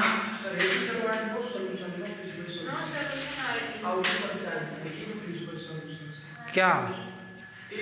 हाँ वही एडिंग है इनफिजिबल सोल्यूशन और नो सोल्यूशन ठीक है इनफिजिबल सोल्यूशन और नो सोल्यूशन मतलब फिजिबल सोल्यूशन नहीं मिलेगा और क्या नो सोल्यूशन जब भी क्वेश्चन मिलेगा तुम लोग को आसान आएगा पिछले ईयर का जाके क्वेश्चन जितना भी है अनसॉल्व लाए हो क्यों नहीं लाए हो लाते हैं तो आज क्यों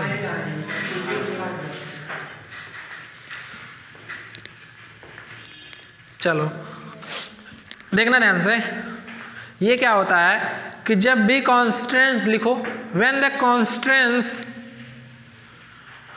when the constraints when the constraints इसके पहले कुछ याद करो तुम लोग को solution of LPP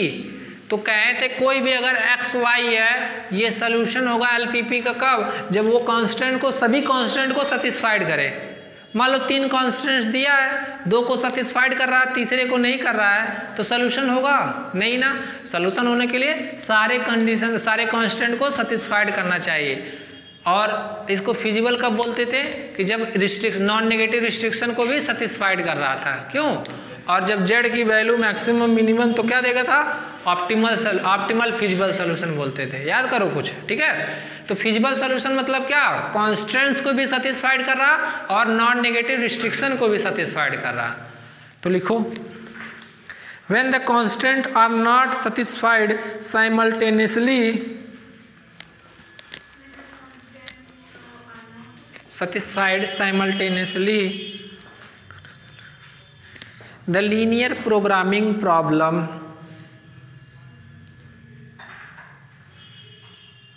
has no feasible solution the linear programming problem has no feasible solution लग रहा बात करना पड़ेगा तुम्हारे घर पे चैप्टर का क्या नाम है बताओ लीनियर प्रोग्रामिंग प्रॉब्लम तो जहाँ भी लीनियर आएगा उसके आगे क्या होगा प्रोग्रामिंग प्रॉब्लम है ठीक है the linear programming problem has no feasible solution समझ में आया जब फिजिबल सोल्यूशन नहीं दैट मीन्स क्या होगा इनफिजिबल सोल्यूशन हाँ तुम लोग एल भी लिख सकते हो क्वेश्चन देखो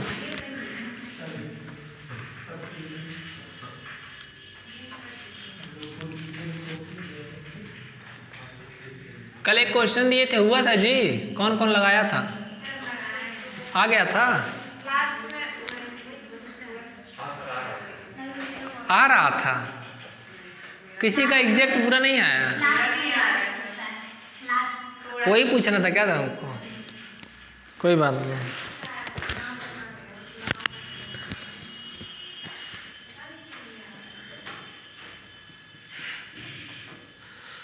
subjected to the condition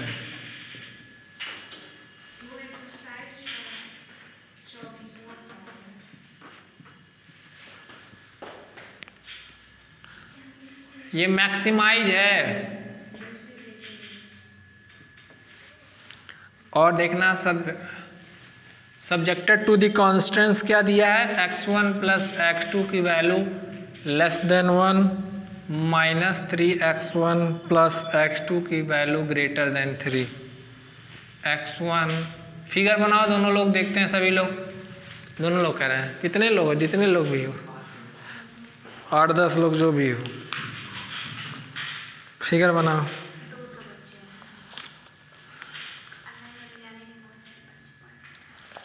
अच्छा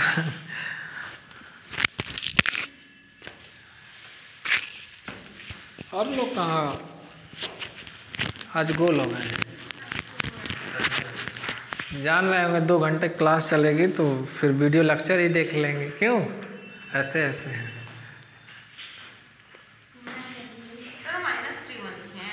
हाँ माइनस थ्री एक्स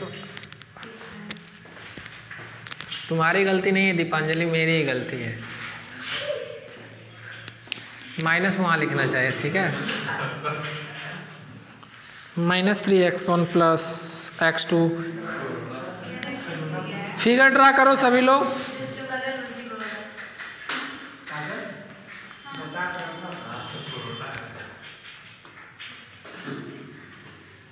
तुम लोग बहुत पिटोगे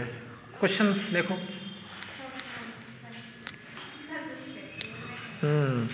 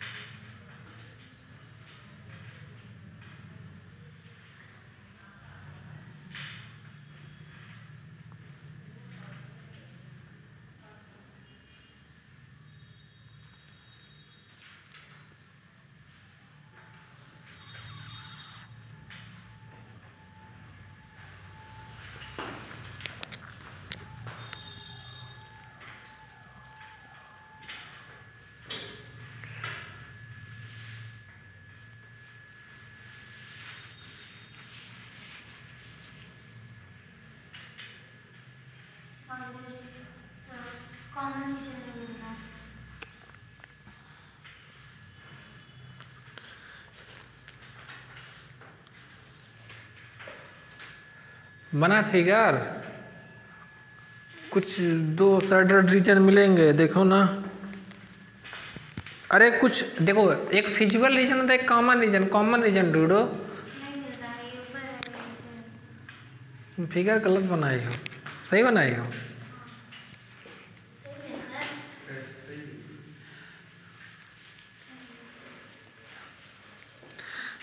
देखो ये एकदम उसको पता है क्या सही है क्या गलत है एकदम कॉन्फिडेंस फुल कॉन्फिडेंस में है काजल देखना है हमसे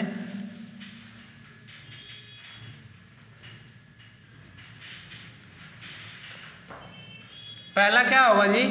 x1 one plus x two solution जब लिखेंगे तो पहला क्या लिखेंगे on changing all inequality as in equation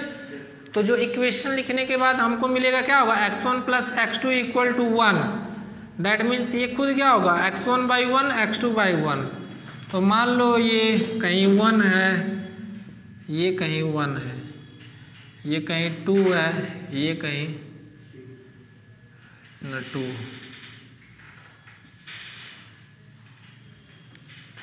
और ये देखो ये मान लो ये कहीं थ्री है ये कहीं थ्री है ये एक्स टू और ये एक्स वन दूसरा वाला क्या मिलेगा तो इसको क्या लिख सकते हैं x one upon minus one plus x two upon equal to one minus one कहीं होगा यहाँ कोई दिक्कत माइनस वन और ये कहाँ कट करेगा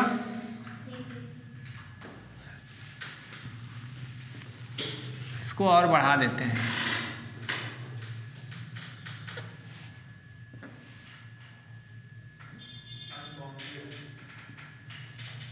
तो ये पॉइंट होगा ना ये होगा और क्या मिलेगा जी वन वन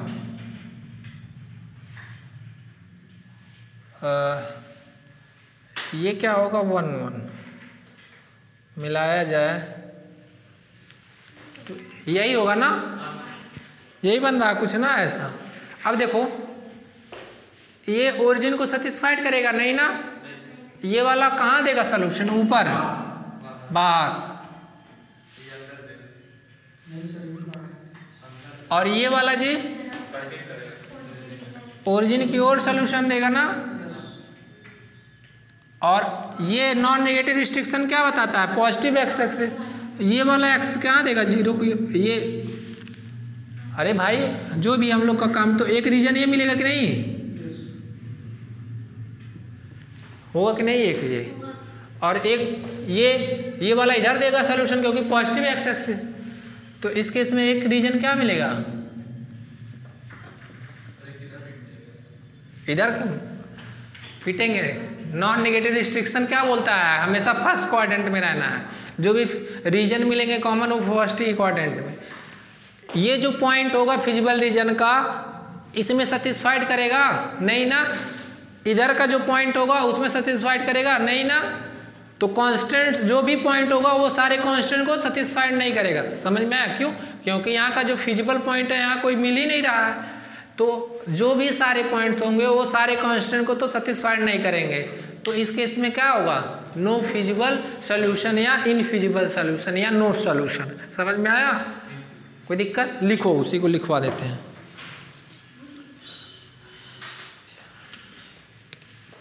ये कौन सा लाइन है लिख दो लाइन का नाम x1 one plus x two equal to one और ये minus three x one plus x two equal to three लिखना from graph it is clear that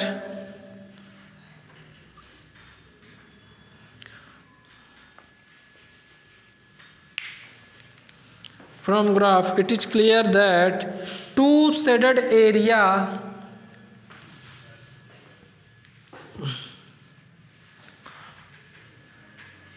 two shaded area which indicates which indicates a non overlapping which indicates a non overlapping which indicates a non overlapping हो गया non overlapping region that can be considered that can be considered as feasible that can be considered as feasible solution areas feasible solution areas हो गया since there is no point since there is no point x1 comma x2 since there is no point x1 comma x2 which satisfied both the constants which satisfied both the constants ऐसा क्यों हो रहा है क्योंकि जो भी region मिल रहा है फिजिबल इसका पॉइंट ना यहाँ होगा ना यहाँ होगा ऐसा कोई भी ठीक है अरे भाई देखो ये वाला यहाँ जो पॉइंट होंगे वो किस कॉन्स्टेंट से आ रहे हैं इस वाले से कॉन्स्टेंट लाइन से और ये वाला जो फिजिबल रीजन का इस कॉन्स्टेंट से तो यहाँ का पॉइंट इस वाले कॉन्स्टेंट को सेटिस्फाइड करेगा नहीं ना और यहाँ का पॉइंट इस वाले कॉन्स्टेंट को सेटिस्फाइड नहीं करेगा ठीक है तो लिखना since there is no point x one comma x two which satisfied both constant simultaneously which satisfied both the constraints simultaneously हो गया that is no common print या that is no common region लिख दो no common हो गया hence the problem has no solution hence the problem has no solution are infeasible solution are infeasible solution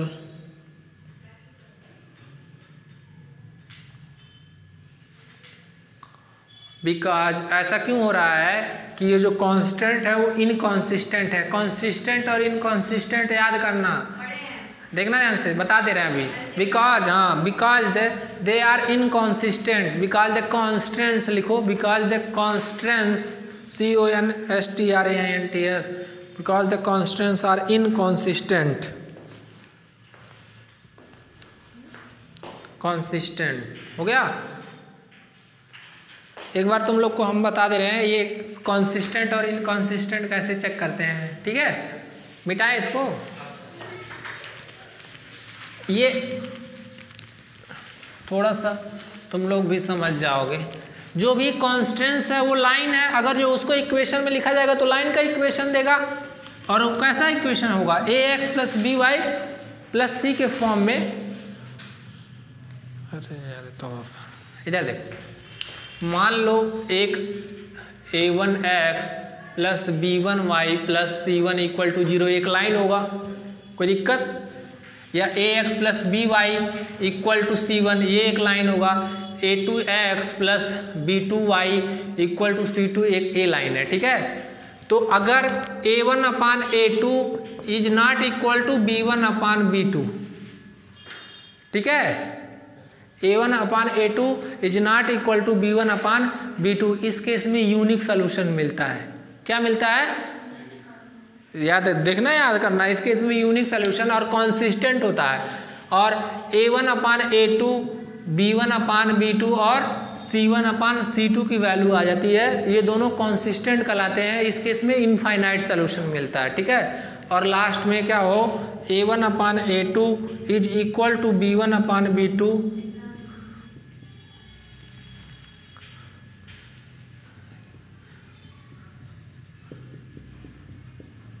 इस case में no solution समझ में आया एक बार देख लेना तुम लोग इंटर का है सारी चीज़ें तो ये इनकॉन्सिस्टेंट है कॉन्सिस्टेंट है ऊपर दोनों वाला कॉन्सिस्टेंट और ये इनकॉन्सिस्टेंट हाँ मैट्रिक्स वाले में भी, भी था तो मैट्रिक्स में रैंक से हम लोग चेक करते थे डिसाइड करते थे कि हाँ तो वही चीज़ है ना लाइनी है ना जोमेट्री नेक्स्ट अब एक क्वेश्चन दे रहे हैं तुम लोग करके दिखा दो हमें ठीक है दिखा दोगे एक्सरसाइज का दे रहे हैं पक्का ना हम्म यहीं यहीं घर घर से नाम लोगे तो पीट देंगे तुम लोगों को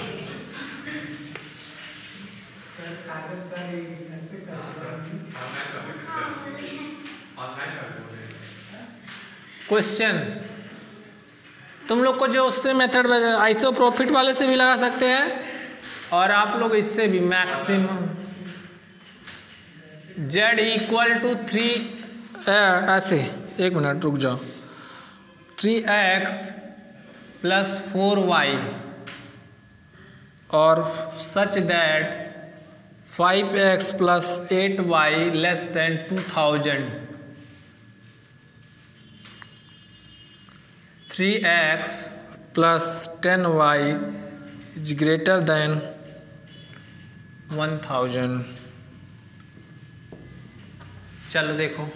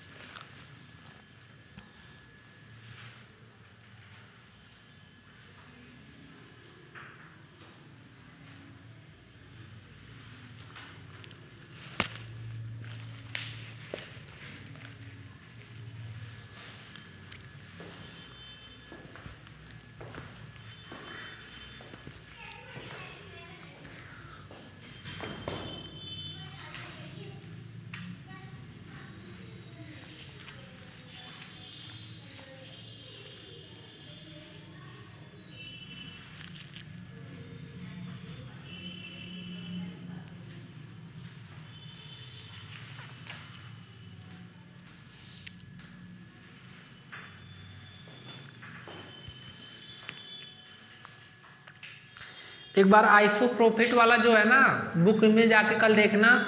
बुक में सारा कॉर्नर पॉइंट से नहीं किया गया सब आइसो प्रॉफिट से किया गया तो उसमें फिगर क्लियर समझ में आएगा आइसो प्रॉफिट का मतलब ठीक है एक बार बुक से देखना क्योंकि बुक में ग्राफ अच्छे से बनाया है यहाँ ग्राफ बन नहीं पड़ रहा पड़ रहा है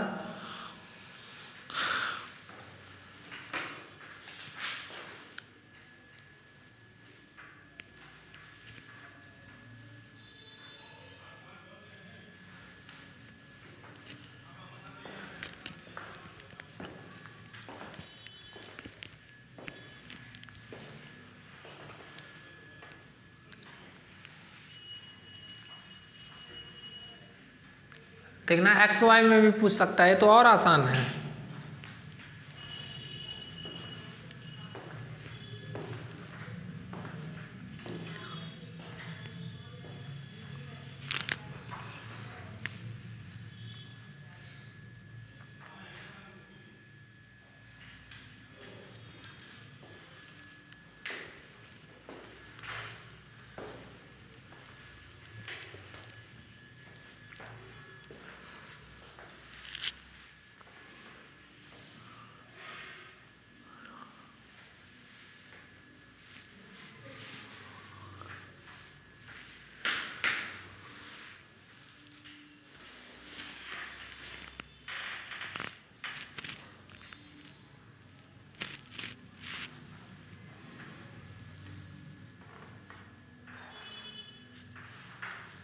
अच्छा ऑपरेशन रिसर्च में वो जो करवाए थे तुम लोग कह रहे थे कि दो पॉइंट में सोल्यूशन मिल रहा है एक मिनट सुनो सभी लोग कह रहे थे छोड़ देना तो उस केस में अब समझ में आ गया ना उसमें वहाँ क्या लिखेंगे कि इनफाइनाइट सोल्यूशन मिल जाएगा अल्टरनेटिव ऑप्टिमा एग्जिस्ट करेगा जहाँ दो पॉइंट में मिल रहा था तो वहाँ उसी इसीलिए करवाया गया है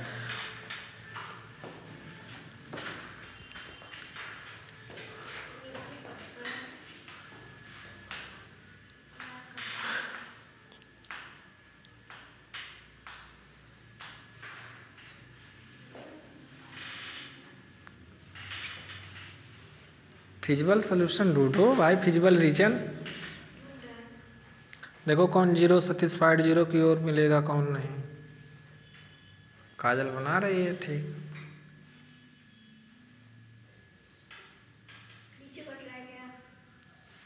नीचे जाना ही नहीं है मतलब फर्स्ट ही क्वाड्रेंट में रहना है नॉन नेगेटिव रिस्ट्रिक्शन भी है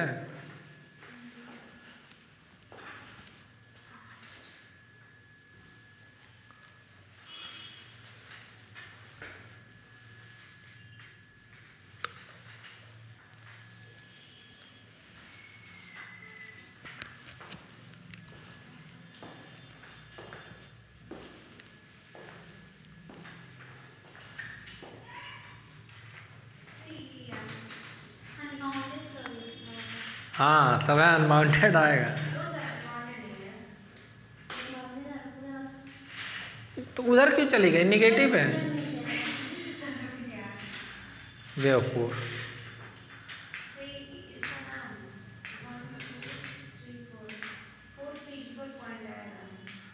कॉर्नर पॉइंट थ्री आएगा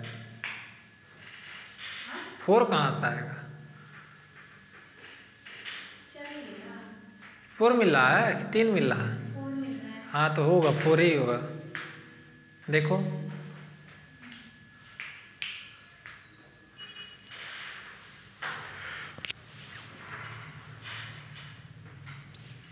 यहाँ कितना दिया है एक हज़ार दिया है ना तो अब कितना गैप मानो ऐसे मानो कितने कितने के लिए दे तुम सौ सौ का हाँ तो सौ सौ का लो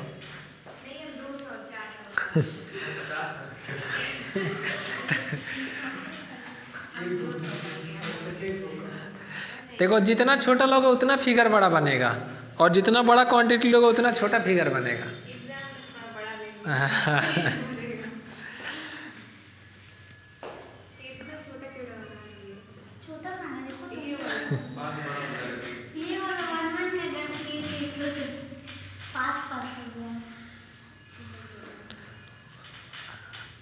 उसके आगे भी कुछ करोगी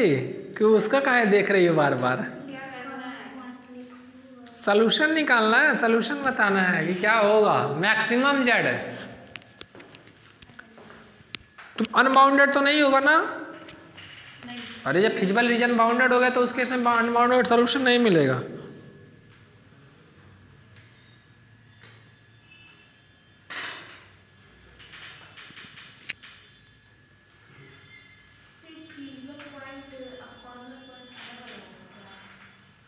कॉर्नर पॉइंट जो फिजिबल रीजन के कॉर्नर वाले पॉइंट्स होते हैं वही एक्सट्रीम पॉइंट बोलते हैं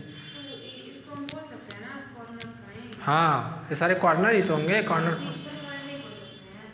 फिजिबल पॉइंट थोड़ी होता है फिजिबल पॉइंट कहाँ होता है जी फिजिबल सोल्यूशन ये रीजन फिजिबल जो शेडेड वाला है ना ये सारे रीजन सारे कॉन्स्टेंट के सेटिस्फाइड कर रहा है नॉन नेगेटिव रिस्ट्रिक्शन को भी सेटिस्फाइड करेगा ये रीजन तो फिजिबल रीजन हो जाएगा जैसे फिजिबल सोल्यूशन क्या होता है कि कॉन्स्टेंट को भी सेटिस्फाइड करे और नॉन नेगेटिव रिस्ट्रिक्शन को तो ऐसे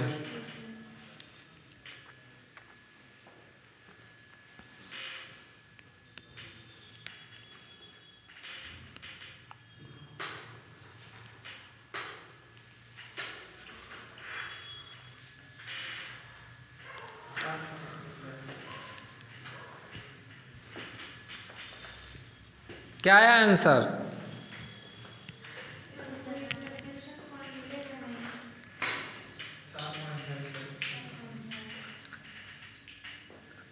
फोर पॉइंट मिल रहे हैं तो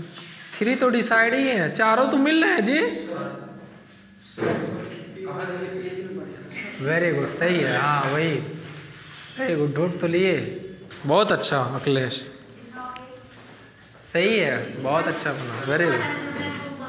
हाँ हाँ बस यही तो चार पॉइंट तो है इसका भी पता है हाँ, इसका कोऑर्डिनेट क्या होगा टू फिफ्टी जीरो इसका वन हंड्रेड जीरो हाँ इसी चेक कर लो वैल्यू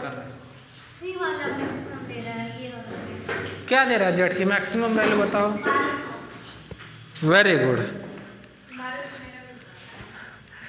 काजल का सही है हाँ सर हाँ, तुम्हारा अभी तुम निकाले ही नहीं फोर हंड्रेड कॉमन जीरो तो दीपांजलि तुमको नहीं समझ में आ रहा है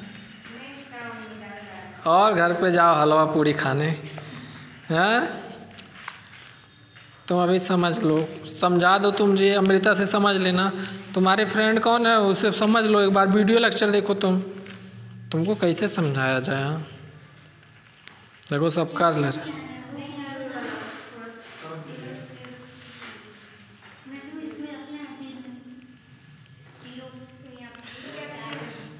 अब आज सब खत्म अब क्वेश्चन जाके सब लोग एक साथ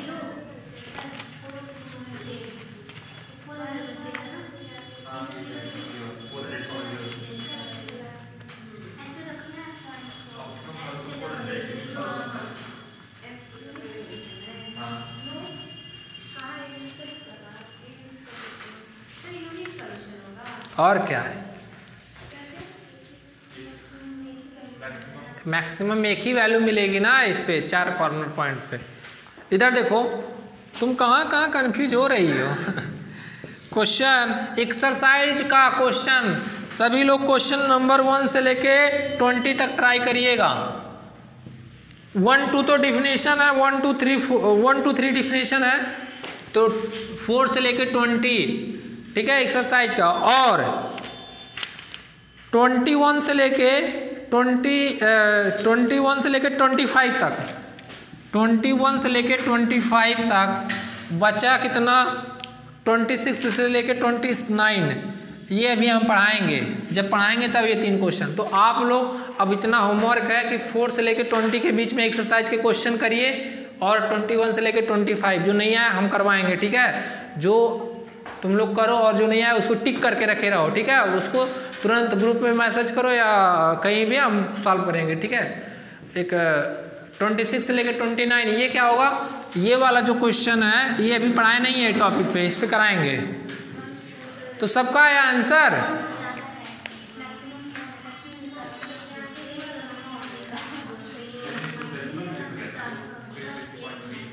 तो सोल्यूशन आंसर क्या है जी इसका एक्स बराबर क्या आया ए एक्स बराबर क्या आया और जेड बराबर कितना आएगा यही सोल्यूशन होगा इस प्रॉब्लम का एक्स बराबर फोर हंड्रेड वाई बराबर जीरो एंड जेड बराबर क्या होगा ट्वेल्व हंड्रेड सबको समझ में आया कि नहीं समझना क्या तुम लोग खुद से किए हो बहुत अच्छी बात है कर लिए क्यों तुमको क्या कन्फ्यूजन है तुम कहाँ अनबाउंड ग्राफ से अनबाउंडेड होगा नहीं ना दो बार वैल्यू सेम से मिली नहीं ना तो आइसो प्रो आइसो